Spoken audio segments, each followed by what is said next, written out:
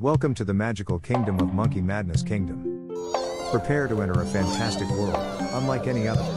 Hold on to your bananas, and get ready for a crazy trip of laughter, gasps, and limitless furry cuteness at the zoos because it's a day of fun and caring. Ah, behold, the adorable army of little panda bears, standing tall and proud, ready for their daily ritual of cleanliness. It's pandemonium in the most delightful way possible, Panda Bath Day at the zoo.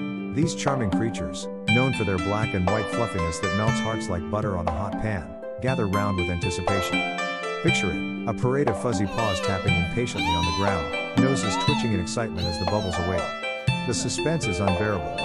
In this whimsical moment, this gathering of bear royalty reveals their commitment to maintaining impeccable grooming standards. So ladies and gentlemen, Brace yourselves for an astonishing display of cuteness overload. It's bath time for the pandas. As the pandas playfully splash around in the water.